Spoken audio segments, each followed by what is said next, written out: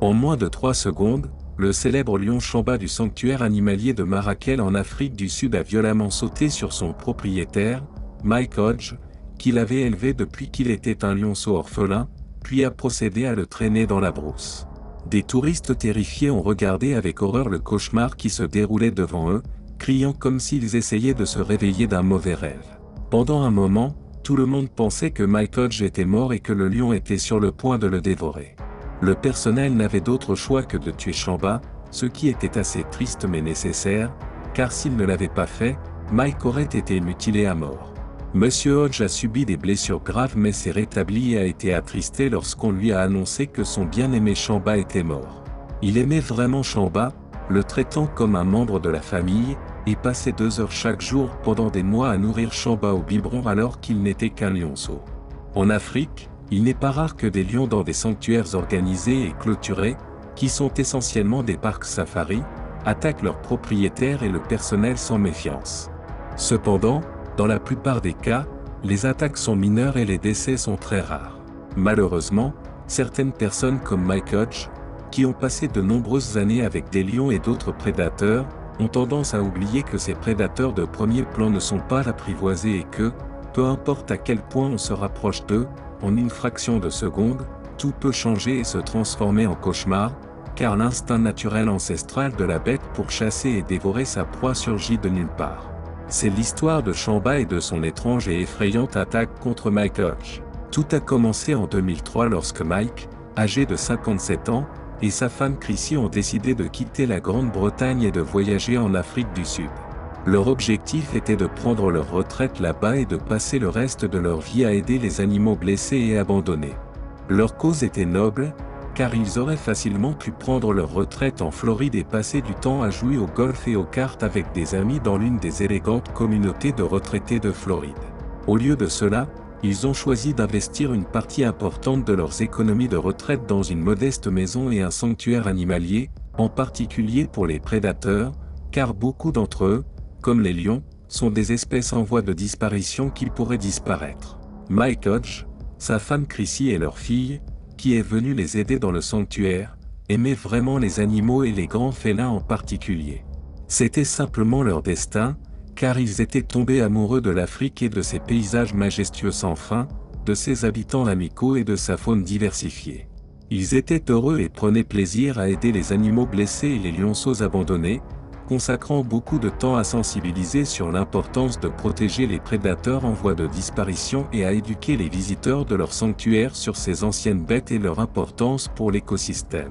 Comme vous le savez probablement déjà, la plupart des parcs safari sont conçus comme des sanctuaires où les animaux sauvages, y compris les prédateurs, sont amenés pour être traités et hébergés.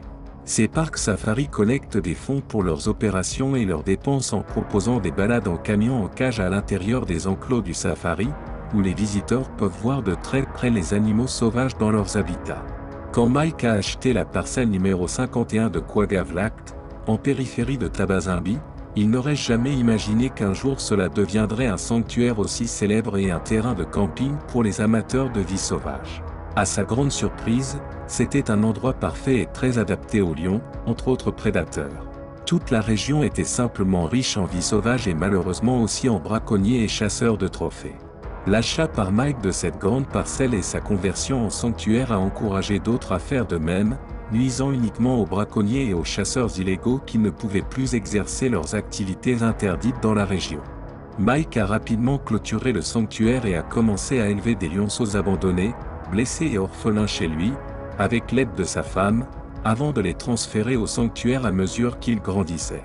Quelques années plus tard, le parc abritait dix grands félins, dont des lions, des guépards et même un léopard. De plus, une section du sanctuaire, éloignée des prédateurs, est devenue un zoo pour d'autres animaux qui y ont également été élevés après avoir été sauvés. En 2008, Mike reçoit un appel concernant un lionceau d'une semaine qui a été rendu orphelin après que des chasseurs de trophées ont tué sa mère. Mike n'hésite pas à accueillir le lionceau, passant des mois à le nourrir au biberon chez lui. À mesure que les coûts augmentaient et que les revenus touristiques étaient rares, Mike décide d'agrandir et d'améliorer le sanctuaire. Il ajoute des zones de camping avec des cabanes clôturées semi-modernes pour offrir une expérience totalement immersive. Il lance également des programmes éducatifs pour les enfants et les visites scolaires, créant une zone pour que les enfants et les familles puissent fêter leur anniversaire en pleine nature tout en observant les prédateurs à proximité dans leurs enclos. Le sanctuaire devient essentiellement un safari où les visiteurs paient environ 6 dollars pour monter dans le lion mobile, un camion en cage modifié conçu pour assurer la sécurité des passagers lors de la visite des enclos d'animaux, y compris des prédateurs comme Chamba. Mike plaçait du poulet et de la viande sur le dessus de la cage du camion, puis conduisait à travers les enclos, attirant les prédateurs qui sautaient sur le camion, à quelques centimètres des invités à l'intérieur de la cage. En 2018, le parc comptait au moins 15 prédateurs, dont des lions, des guépards et même des tigres du Bengale. Le sanctuaire employait plus de 10 personnes à plein temps et continuait de contribuer à la protection des animaux et à la sensibilisation tout en traitant gratuitement les animaux blessés. Mike et Chrissy ont réalisé un rêve qu'ils n'auraient jamais pensé voir se réaliser, car lorsqu'ils ont déménagé en Afrique, ils voulaient simplement une petite ferme et un sanctuaire pour soigner les animaux malades. En 2018, tout était parfait, mais Mike vieillissait aussi et était sûr qu'à un moment donné, il ferait une erreur, peut-être un mauvais jour en traitant avec certains des prédateurs. Il avait 72 ans, aimait son sanctuaire et les prédateurs qu'il élevait comme ses enfants, mais peut-être était-il trop confiant, sachant à quel point ces bêtes pouvaient être dangereuses. C'est assez triste que son lion préféré, Chamba, a failli le tuer après avoir commis une erreur dans ce qui a été décrit comme l'attaque de lion la plus terrifiante jamais capturée à la caméra. Le 1er mai 2018, la vie de Mike et Chrissy a failli être ruinée à jamais. C'était une journée chaude dans leur parc safari. Les travailleurs effectuaient leurs tâches habituelles, et comme d'habitude, Mike conduisait le lion mobile. Il aimait conduire ce camion en cage et regarder les gens à l'intérieur apprécier de voir des lions et d'autres grands félins sauter sur le toit du camion pour manger du poulet et de la viande. Il riait quand certains invités étaient effrayés, voire pleuraient, puis les consolait tout en les éduquant sur ces prédateurs de haut rang. Ses paroles étaient toujours réconfortantes, même les enfants adoraient ses histoires. Ses employés lui disaient souvent de les laisser conduire ou effectuer d'autres tâches dangereuses impliquant l'entretien, le nettoyage et l'inspection à l'intérieur des enclos des prédateurs. Mais il était trop confiant avec ceux qu'il considérait comme ses enfants et n'a jamais pensé qu'un d'entre eux l'attaquerait et faillir lui ôter la vie. Il le faisait aussi parce qu'il aimait rester actif et, de cette manière, montrait l'exemple à son équipe. Vers midi, l'une des visites était sur le point de se terminer. À ce moment-là, Mike fit l'annonce aux personnes dans le camion tandis qu'un sourire satisfait couvrait son visage. Il savait que la dernière attraction au coin de la rue impliquait son grand félin préféré au monde, Chamba. Bien sûr, Chamba n'était plus le mignon lionceau que Mike et Chrissy avaient élevé chez eux, maintenant, c'était un adulte à part entière, un vrai lion avec un appétit insatiable pour le poulet. Clairement, Chamba était le prédateur le plus gâté du parc, et Mike ne s'en souciait pas car il aimait vraiment ce lion. Il arrêta le camion près de la clôture, au coin de l'enclos de Chamba, et demanda à l'un des employés de placer quelques poulets sur le toit. Une fois que le camion entra dans l'enclos de Chamba, le lion féroce courut comme une fusée, sauta sur le toit et commença à dévorer son déjeuner. Les touristes à l'intérieur de la cage étaient choqués et émerveillés par la taille, la force et la beauté naturelle de Chamba. Une fois que Chamba eut fini son déjeuner, il répondit au signal d'un travailleur qui l'attira loin du camion avec un autre poulet. À ce moment-là, Mike fit demi-tour avec le camion et quitta l'enclos. La porte était fermée, cependant, Mike vit quelque chose d'étrange. Chamba reniflait quelque chose par terre, et il y avait une odeur terrible dans l'enclos. Mike indiqua alors à l'un des travailleurs d'attirer Chamba avec une poche pleine de viande car il voulait entrer dans l'enclos et vérifier la source de l'odeur et ce que Chamba avait reniflé quelques minutes auparavant. C'était une tactique souvent utilisée pour déplacer Chamba d'un endroit à un autre et était généralement efficace. Cependant, ce jour-là, Chamba était d'humeur étrange. Mike ouvrit une petite porte menant à l'enclos, tandis que Chamba s'éloignait vers le poulet que le travailleur avait dans la main, de l'autre côté de la clôture. Mike s'avança d'environ 5 mètres à l'intérieur et inspecta l'objet que Chamba avait reniflé auparavant. C'était des restes de poulet que Chamba avait laissés la veille, et cela commençait à se décomposer et à produire une odeur horrible. Il fallut à Mike 5 secondes pour atteindre et renverser le poulet pourri avec son pied, tandis que Chamba était à environ 12 mètres. Et puis l'enfer se déchaîna lorsque Chamba courut vers Mike, qui réalisa immédiatement le danger et se dirigea vers la porte. Cependant, à seulement un pied de la porte, Chamba réussit à renverser Mike au sol. L'erreur que Mike fit ce jour-là était de ne pas attendre que Chamba soit loin de la porte et occupé à dévorer de la viande. De plus, le travailleur et Mike se montraient mutuellement du doigt, ce qui aurait pu attirer l'attention de Chamba sur Mike. La deuxième erreur de Mike fut de tourner le dos à Chamba lorsqu'il se précipita vers lui. Il aurait été préférable de reculer rapidement vers la porte. Un expert a déclaré que Chamba aurait pu se précipiter pour saluer son propriétaire et n'avait aucune intention de l'attaquer. Mais le fait que Mike se retourne et s'enfuit a fait que Chamba est instinctivement passé en mode chasse. Mike était maintenant au sol, inconscient du coup, avec Chamba sur lui, tandis que les touristes commençaient à crier et à hurler de folie. En une seconde, Chamba attrapa Mike entre ses mâchoires sans effort et le traîna plus loin dans l'enclos. Ensuite, les travailleurs disparurent pendant quelques secondes, revinrent avec un pistolet et commencèrent à tirer des coups d'avertissement en l'air. Néanmoins, Chamba attrapa à nouveau Mike entre ses mâchoires puissantes et essaya de l'emmener plus loin dans l'enclos, derrière les buissons et les arbres. À ce moment-là, les travailleurs n'avaient d'autre choix que de tirer directement sur Chamba car ils savaient que Mike était probablement encore en vie et pouvait être sauvé. Mais si Chamba le mordait à nouveau, il mourrait en quelques secondes.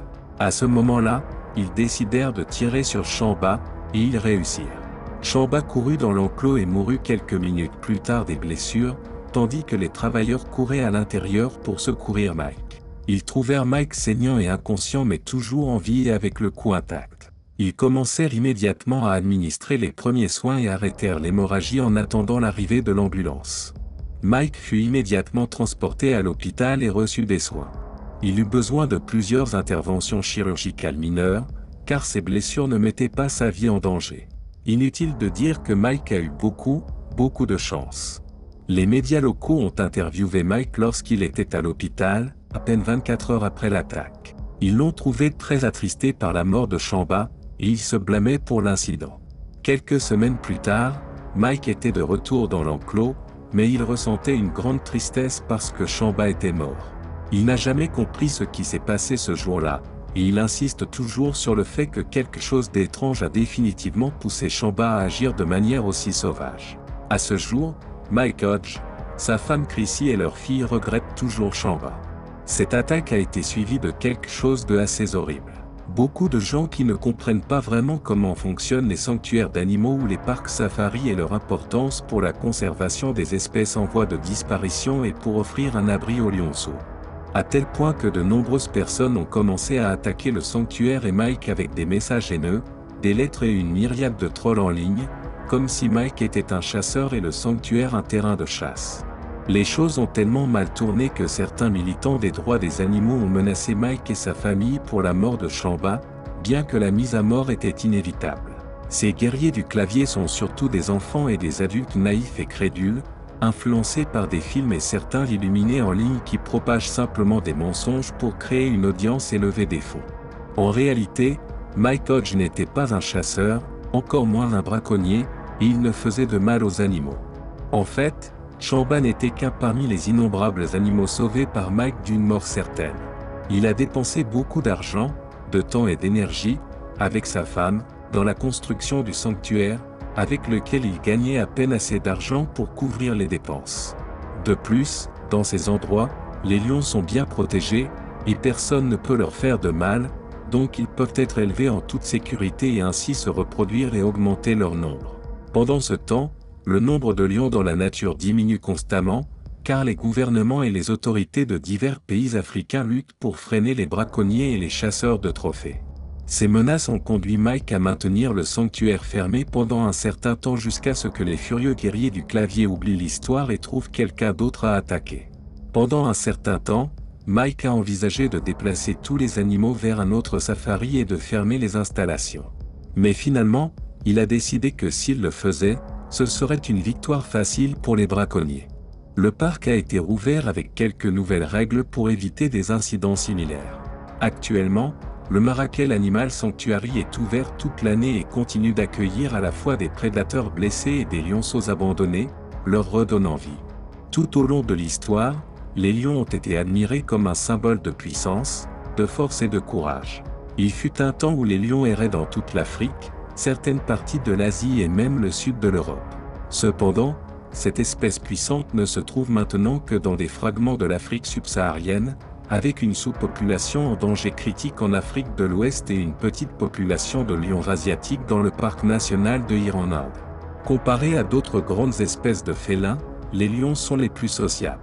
Ils vivent en groupes appelés fierté, qui peuvent être composés de 10 à 30 membres, dont 3 ou 4 mâles, une douzaine ou plus de femelles et leurs lionceaux. Saviez-vous que le rugissement d'un lion est si puissant et fort qu'il peut être entendu jusqu'à 8 km de distance et qu'il est également une démonstration de pouvoir entre les mâles? Malheureusement, en 2023, il ne restera que 20 000 lions dans la nature, et leur nombre est en diminution.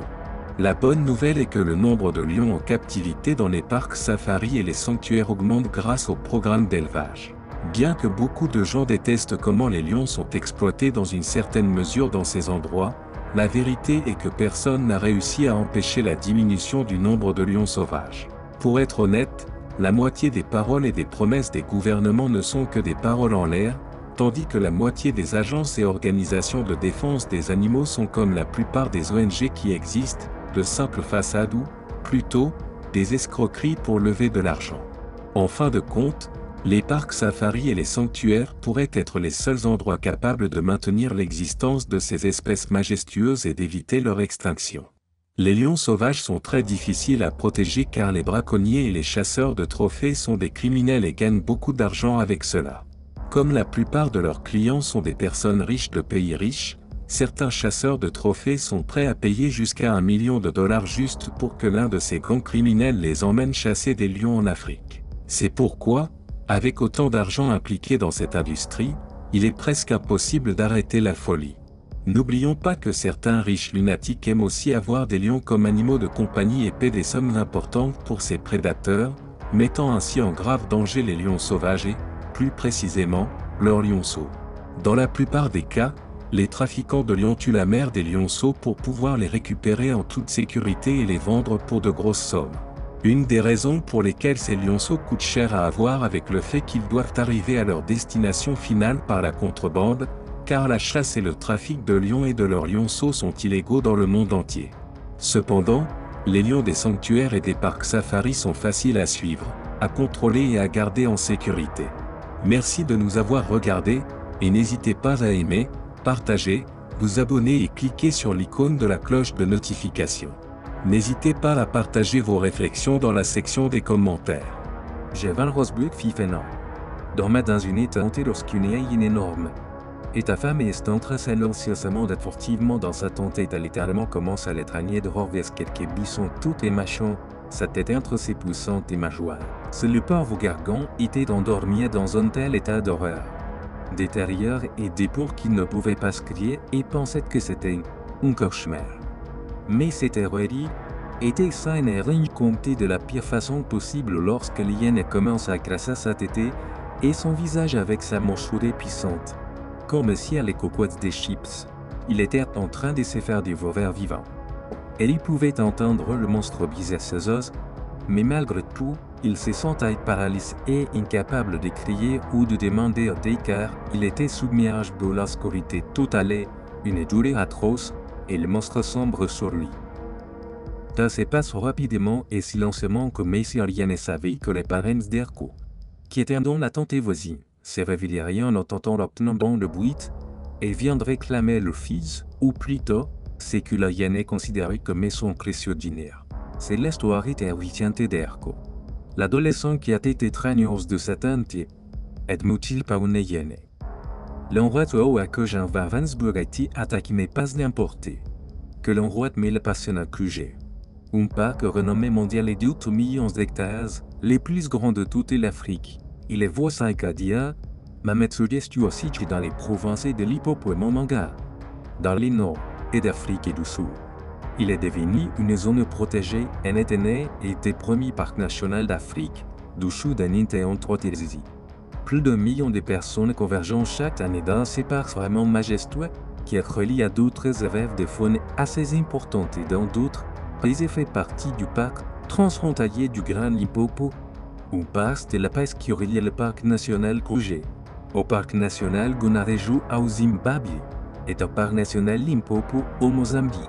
Cette zone colossale est désignée par l'Organisation des Nations Unies pour l'éducation, la science et la culture à l'UNESCO comme une réserve internationale de l'homme et de la biosphère. Et bien sûr, un massif dans zéro y résident. Il est de notoriété publique, téléhygiène et sont des prédateurs. Puissance et intelligence, avec une mesure plus forte que celle d'un lion.